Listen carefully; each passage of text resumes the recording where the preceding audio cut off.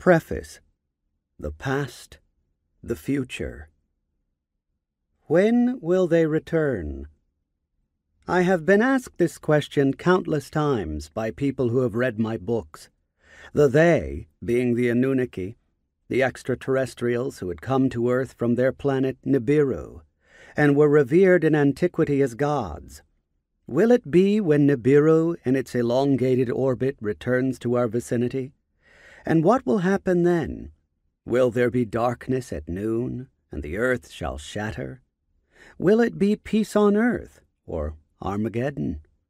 A millennium of trouble and tribulations, or a messianic second coming? Will it happen in 2012, or later, or not at all?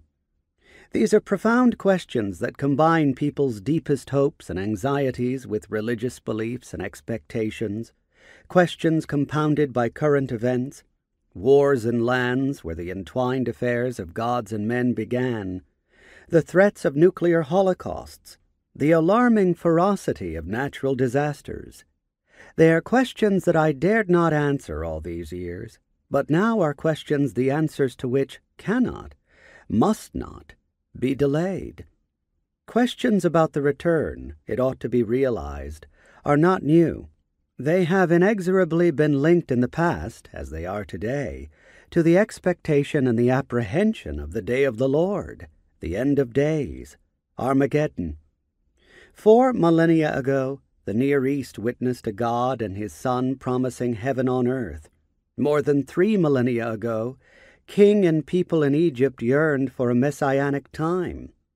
Two millennia ago, the people of Judea wondered whether the Messiah had appeared and we are still seized with the mysteries of those events. Are prophecies coming true? We shall deal with the puzzling answers that were given, solve ancient enigmas, decipher the origin and meaning of symbols, the cross, the fishes, the chalice.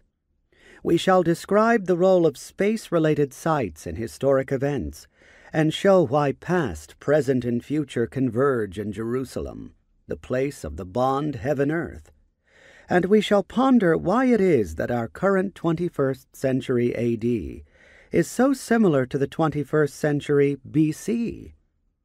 Is history repeating itself? Is it destined to repeat itself? Is it all guided by a messianic clock? Or is the time at hand? More than two millennia ago, Daniel of Old Testament fame repeatedly asked the angels, When? When will be the end of days, the end of time? More than three centuries ago, the famed Sir Isaac Newton, who elucidated the secrets of celestial motions, composed treatises on the Old Testament's book of Daniel and the New Testament's book of Revelation. His recently found handwritten calculations concerning the end of days will be analyzed, along with more recent predictions of the end